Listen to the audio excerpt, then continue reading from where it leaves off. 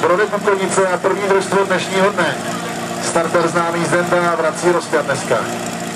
Závodníci na!